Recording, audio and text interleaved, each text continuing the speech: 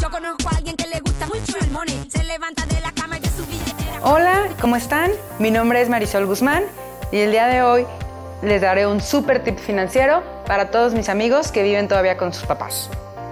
Al principio, cuando empezamos a trabajar, sentimos que ganamos muy poquito. Tenemos el sueño y la ideal de tener un mejor puesto, de llegar a ser dueños de nuestra propia empresa y administramos a veces un poco mal el recurso que tenemos. En esa etapa es normalmente cuando más gastamos.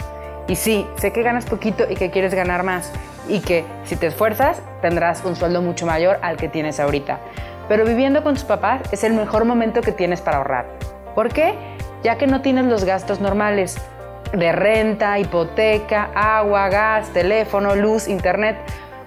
Puedes ser un súper buen hijo y apoyar con algo a tus papás, pero no va a ser el mismo costo que vas a tener cuando llegues a independizarte y a vivir solo. Así es que aprovecha y administra bien tu dinero.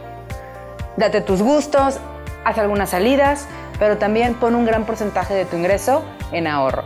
Recuerda que lo que ahorres en este momento te va a ayudar a abrirte puertas en un futuro para poder adquirir una casa, un departamento, hacer alguna inversión que en un futuro pueda llevarte a tu independencia financiera. Síguenos en redes sociales. Yo conozco a alguien que le gusta